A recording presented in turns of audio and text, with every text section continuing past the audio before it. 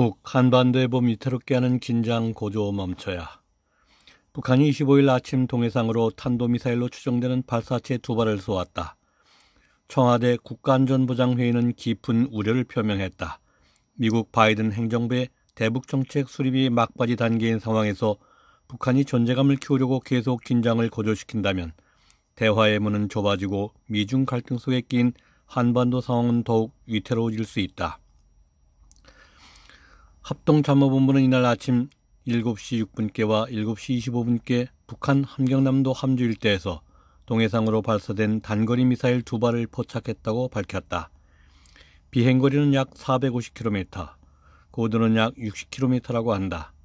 국가안전보장회는 긴급 회의 뒤 미국의 대북 정책 검토가 진행되는 가운데 미사일 발사가 이루어진 점에 대해 깊은 우려를 표명했다. 우리 정부는 북한이 발사한 미사일 종류를 확정하지는 않았지만 탄도 미사일일 가능성이 크다고 한다. 탄도 미사일 발사는 사거리와 관계없이 유엔 안보리 결의 위반이어서 추가 제재 대상이 될 수 있다. 지난 1월과 지난 21일 두 차례 순항 미사일을 발사한 데 이어 수위를 더욱 높인 이날 북한의 행동은 미국의 대북 정책에 영향을 미치려는 전술적 행보로 보인다. 25일 바이든 대통령의 기자회견과 다음 주 한미일 안보실장 회담을 앞두고 무력 시위를 했다는 점에서 더욱 그렇다. 북한의 도발에 바이든 행정부가 어떻게 대응하느냐에 따라 향후 한반도 정세는 큰 영향을 받을 것이다.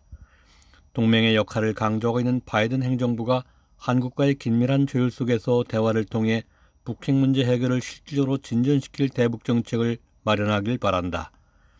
북미 대화를 통해 한반도 평화 프로세스 재가동을 계획하고 있는 우리 정부는 곤혹스럽게 됐다.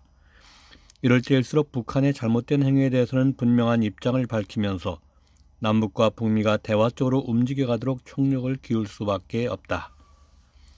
북한은 과거 미국에 대해 거듭 사용해온 벼랑 끝 전술이 더 이상 유효, 유효하지 않으며 역효과만 내왔다는 현실을 직시하길 바란다. 미중 패권 다툼이 격렬해지고 동북아에서 한미일 대북 중러 대립 구도가 재현되는 상황에서 북한은 중러와 밀착해 전술적 이익을 기대할 수 있을 것이다.